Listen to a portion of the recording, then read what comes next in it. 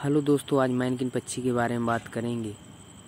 ये एक छोटा सा पक्षी है जो ज़्यादातर जो उष्णकटिबंधीय दक्षिण अफ्रीका में प्रजनन करता है।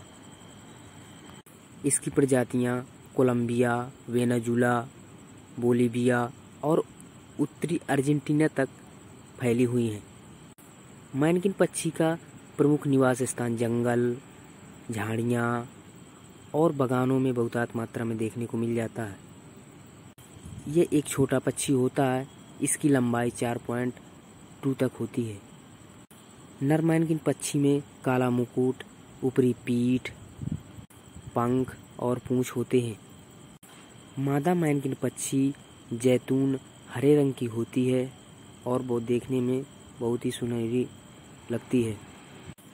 वैज्ञानिक वर्गीकरण के तौर पर बात करें तो जगत जंतु, संघ कोरोडेटा, वर्ग एप्स, गण पैसरीफोर्मस, जीन्स मैनाकस मैनाकन पक्षी की प्रजातियाँ ज़्यादातर ब्राज़ील के जंगलों में बहुतायत मात्रा में निवास करती हैं।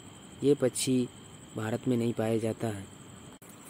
इन पक्षियों का प्रमुख भोजन छोटे छोटे कीड़े, अनाज के दाने होता है। इस पक्षी का प्रजनन अंडे के माध्यम से होता है। ये ज़्यादातर पेड़ों पर घोंसला बनाकर अंडे देना पसंद करते हैं। ये पक्षी अपना घोंसला, पेड़ों के खोंजलों और पेड़ों की डालियों पर बहुतायत मात्रा में बनाते हैं। एक मादा मैनकिन चार से पाँच अंडे देती है और अंडे सेने की ज़िम्मेदारी मादा की ही होती है। ग्लोबल वार्मिंग की वजह से बदलती हुई जलवायु और बहुतायत मात्रा में की जा रही हंटिंग और गर्मी की वजह से जलाशयों का सूख जाना, इन पक्षियों के जीवन में बहुत गहरा असर कर रही है।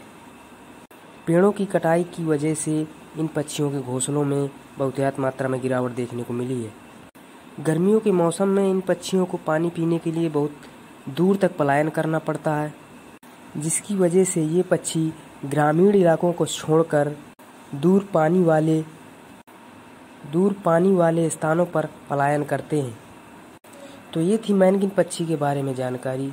अगर आप ऐसी वीडियो देखना चाहते हैं तो हमारे चैनल को सब्सक्राइब करना ना भूलें। देखने के लिए आपका बहुत बहुत धन्यवाद।